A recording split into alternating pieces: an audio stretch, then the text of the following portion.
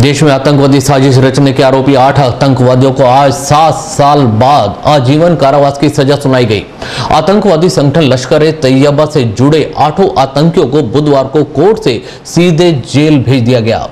इन आठ आतंकियों में असगर अली, शंकर उल्लाह और मोहम्मद इकबाली पाकिस्तानी हैं, जबकि निशाचंद अली पवनपुरी अरुण जैन, काबिल खान और अब्दुल मजीद भारतीय हैं। जयपुर में एडीजे कोर्ट सत्रह में सजा के बिंदुओं पर बहस कल पूरी हो चुकी थी। सभी आतंकियों को बुधवार को कड़ी सुरक्षा के बीच अदालत में पेश किया गया। यहाँ अदालत द्वारा सजा सुनाए जाने के बाद आतंकियों को कड़ी सुरक्षा में जयपुर सेंट्रल जेल भेज दिया गया। उल्लेखनीय है कि अक्टूबर 2010 में एसओजी ने आठों आतंकवादियों को देश में आतंकी साजिश रचने के आरोप में गिरफ़्तार किया था।